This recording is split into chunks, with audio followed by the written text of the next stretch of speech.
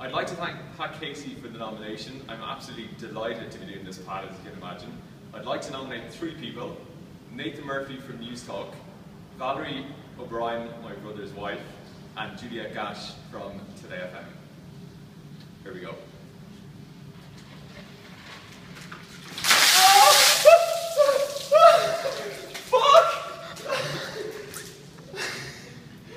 Refreshing. Okay.